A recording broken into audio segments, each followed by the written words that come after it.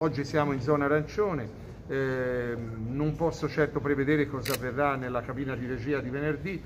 però i primi elementi di valutazione dei dati che forniremo questa settimana probabilmente ci portano a rimanere in zona arancione. Eh, le preoccupazioni della zona rossa eh, non sembrano così eh, forti come apparivano magari qualche giorno fa, però noi vogliamo prevenire, per prevenire ci sono chiaramente dei focolai in Toscana, soprattutto con queste varianti dette brasiliana o sudafricana che sono preoccupanti per la rapidità di trasmissione del contagio. E quindi ad esempio io eh, dopo che ho parlato con voi sarò a Monteroni d'Arbia dove è uno di questi casi dove stiamo preparando una eh, tamponatura a tappeto della popolazione come abbiamo fatto a Chiusi, come abbiamo fatto a San Sepolcro. Stamattina parlavo con il sindaco di Cecina dove si prepara una cosa del genere. Eh, noi accanto alla zona arancione prevediamo tutta una serie di restrizioni comune per comune tipo eh, la chiusura delle scuole laddove questo può diventare elemento di contagio,